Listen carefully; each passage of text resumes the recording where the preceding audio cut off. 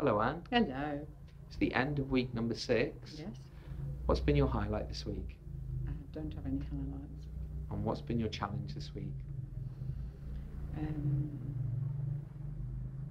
I haven't had a challenge as such. I've just had to drink less water, and I found that a lot better drinking less water. And how many times have you been going to the toilet when you've been drinking lots of water?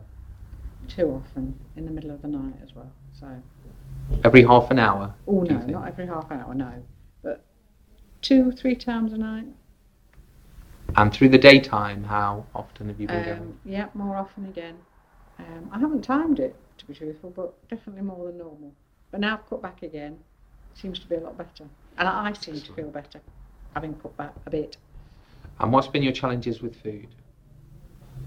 I'm all right with food, to be honest with you. I've, I've got that used to eating what I eat now and eating a lot more healthily and eating a lot more fruit and a lot more veg. That that's what I do now. I eat healthily, more healthily anyway, with the odd odd hiccup, but Remind us again how much weight you've lost in total. a pound. Entirely in your slimming career, I mean. Oh, entirely. I thought you- um, nearly four stone.